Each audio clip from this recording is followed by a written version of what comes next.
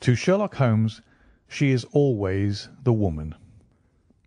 I have seldom heard him mention her under any other name. In his eyes she eclipses and predominates the whole of her sex. It was not that he felt any emotion akin to love for Irene Adler. All emotions, and that one particularly, were abhorrent to his cold, precise, but admirably balanced mind. He was, I take it, the most perfect reasoner.